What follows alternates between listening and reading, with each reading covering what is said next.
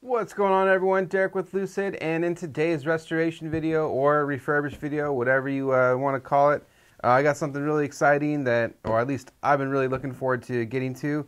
Uh, basically restoring this old 1970s uh, Hobie uh, Weaver Woody deck. Um, this thing is pretty old. We have all the original hardware on here. Uh, the deck itself, it's a little beat up, but for how old it is, it's not too bad. I do have some delam issues going on. Uh, I am going to get in there fix that, and unfortunately, it's kind of going over the uh, the the graphic as well. So I'm going to have to sand uh, the graphic down, but I'm going to replace it and uh, either do some vinyl or laser work or whatever it may be. But the original logo will be back on the bottom of the deck, uh, just how it is. Um, then when I'm all done uh, with the deck, I'm going to use one of my favorite products, the um, Lucid Epoxy. I'm going to apply that both top and bottom of the deck.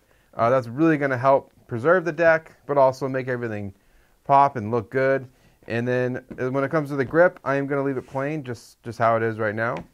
And that, I hope, is, I know when I get into it, there'll probably be a lot more issues I'm going to deal with, but sounds simple, but we'll see how it goes. Um, I'm looking forward to seeing how this thing's going to turn out. Uh, it's been sitting on the shelf, and I've just been staring at it, so I'm excited to get into it, get it cleaned up, and uh, get it looking hopefully like new close to it. I don't know. Uh, we'll find out. So I'm to do it. I'm to get into it, and uh, let's see what I can do this uh, old school Hobie Weaver Woody deck.